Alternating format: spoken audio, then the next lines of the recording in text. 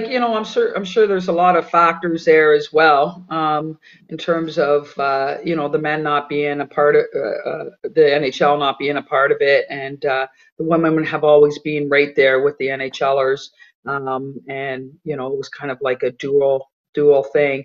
But i know that i stayed up uh, well that whole week uh, i was pretty tired between watching all the olympics and and you know not necessarily always just the hockey. I i loved watching all the sports.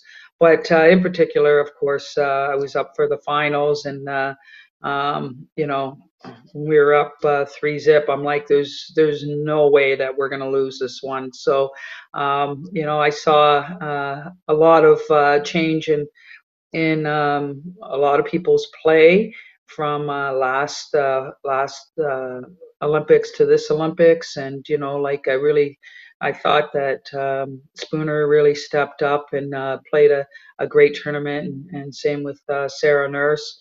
I thought that the, they had some really, uh, really good uh, uh, games, and um, you know, I loved.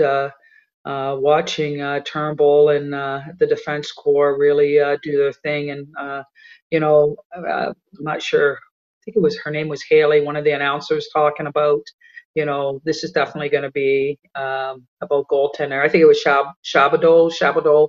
Uh, of course, she's a goalie, so she's going to say it's always about goalies, but yeah, it yeah, certainly yeah. was. And, uh, um, you know, I'm kind of glad I, I wasn't prepared at that time of the night to have like a, uh, a close game anyway. So my heart, so I, I really got to enjoy the game, and uh, I'm really happy for the girls bringing home can the gold medal again, and uh, you know, uh, hope that they uh, just enjoy everything about that and about their lives because uh, you know there's nothing more special than that